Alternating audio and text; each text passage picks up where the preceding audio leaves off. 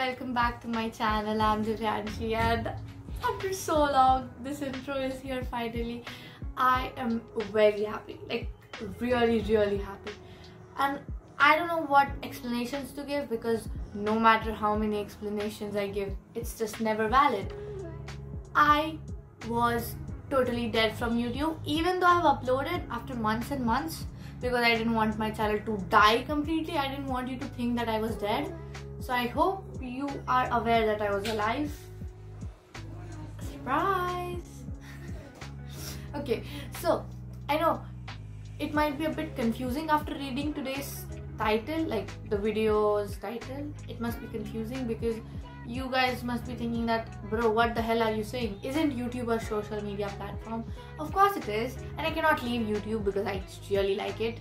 But I'm talking about the platforms like Instagram, Twitter, Facebook, and all, even though I was never on Facebook, but I'm just talking about Instagram specifically because I was connected to it at a really big, big level. Instagram was like my everything as I used to wake up, I used to open Instagram, then my whole day I would just vlog myself on Insta and I would show to I would show to everyone that see bro I'm so cool.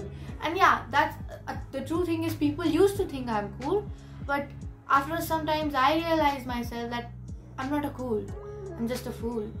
So today I thought of giving you a brief story on how this happened and why it happened and did it do anything good or it didn't do any changes at all. I want to be completely real with you, so I would not speak any lie. I pledge. So, for the very first thing, before knowing about anything, why did I do it? What was the reason of leaving social media and suddenly deleting Instagram and never going back? Like, believe me, I deleted Insta, I guess, four to five months ago. I don't remember at all. But when I deleted it, I never thought of downloading it. It was just not completely my own decision. My friends also made me realize that yes, it is not good for me. Why? First of all, why I started liking it so much. See, what happened due to this COVID situation, we were locked inside our homes. So I didn't have access to my friends who were in school. So I was completely isolated in the room. I always stay in my room still. I don't know why, I just never go out of it because I don't really need a big space I live in a very small space. Small space, I don't mean like the space in my room. I mean that I don't have a big circle now. My circle is very small, like so small that you can't even know what it is. Anyways, okay. So I was talking about so what happened is after my schools opened, I actually stopped being on Instagram that much. I just used to post stories and I just I just stopped using it very often. I was posting. I wouldn't lie, I was posting and I was talking to my friends also, like my social media friends. But I lost interest. This was the main thing. Okay, so first why I did it because this is the most important question. Okay, how you did it, when you did it, that's all is a secondary factor. But why? Why Divyanshi? Why? Why? Why? What was the reason? I think that at a point I realized that social media is consuming a lot of things rather than giving me something. See, the thing is, we all humans, we like something when it is easier to do and it doesn't take much effort. And if you don't believe me, then I don't know how to make you believe.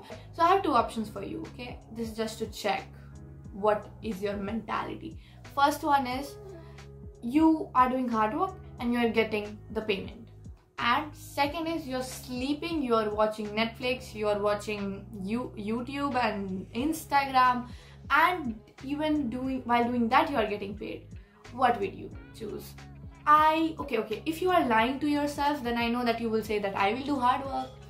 And if, if some people are not lying to themselves and actually choosing hard work then bro hats off hats off to you. But okay coming to reality you would choose to stay in your room watch netflix enjoy and get money free money. So that's how it works. We humans are especially me because i don't want to sound like a philosopher. Okay so me i like doing things which don't need a lot of efforts. I used to like i have improved a lot now okay okay just shut up. So this was the main thing. I thought that social media is consuming a lot.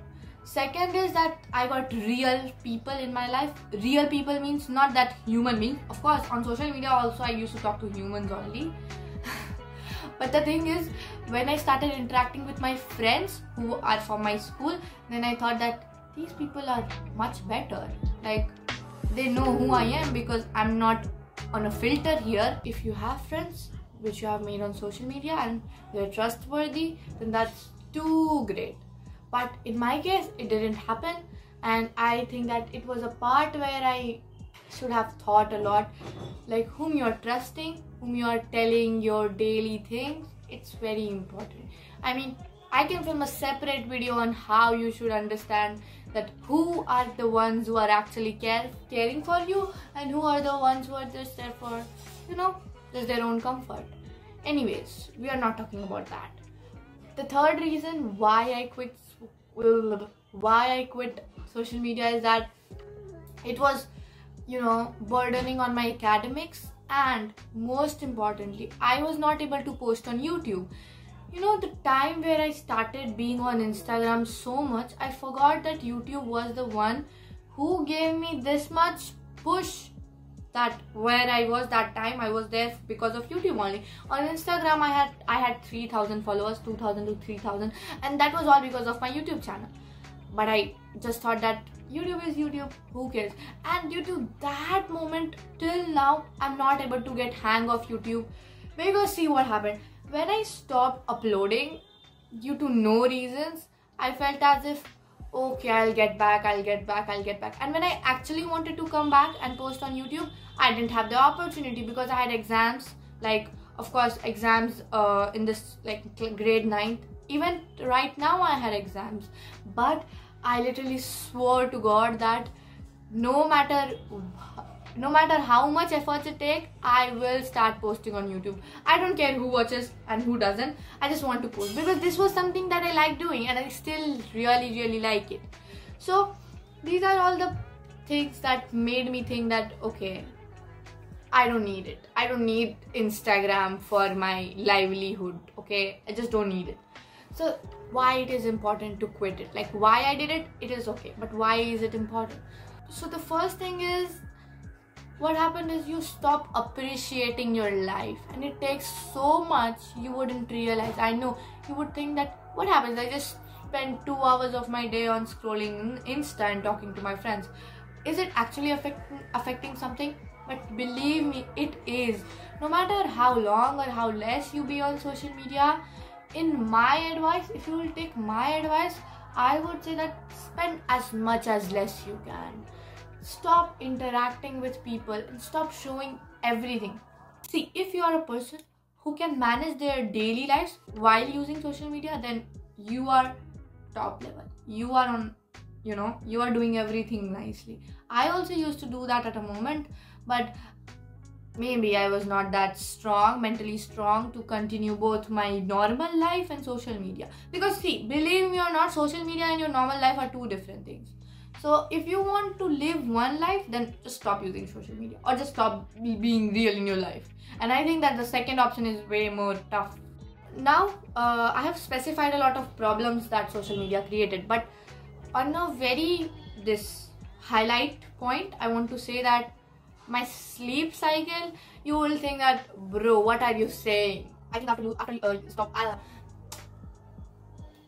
okay. Anyways so my sleep cycle was affected because of you know being on instagram always because i used to scroll at 3 a.m blah blah blah, blah. oh my god this that but after stop after stopping it means you know after just deleting the whole application from all my devices my sleep cycle improved at such a good level you will not believe me literally i used to sleep at 3 4 a.m now i sleep at 12 1 means this is the time highest. Otherwise sometimes 11 11:30 so this is my biggest accomplishment that i have made. See the thing is you can leave something but when you realize that okay because of this i have gained this then you start feeling that okay it was for good. And i wouldn't give full credits to me. Even my friends told me that no it's not good for your health. And that's why people are very important in your life and you should hear the one who care for you. I feel like a philosopher right now. Jokes apart, do what you want and do whatever that makes you happy. But don't do the things which are affecting your own life or maybe the life of others. And also, if you think that I'm speaking bullshit, then just go away, go away. Even though, even though I still use my phone, but for purposes which are good only. And I don't know why my accent changed so horribly, but okay, it did. Anyways, even though my parents still say that I'm always always on my phone, even if my screen time is one hour, two hours in the entire day, and that also uh, sometimes I'm making my notes from Google. So yeah, that's a good thing. I'm just appreciating myself right now. Most importantly, do I miss social media? The simple answer is no. Do I want to go back? No. Am I happy with this decision? Yes. Am I telling you to do the same? No. Then why am I filming this video? Just to give you awareness, just to spread awareness.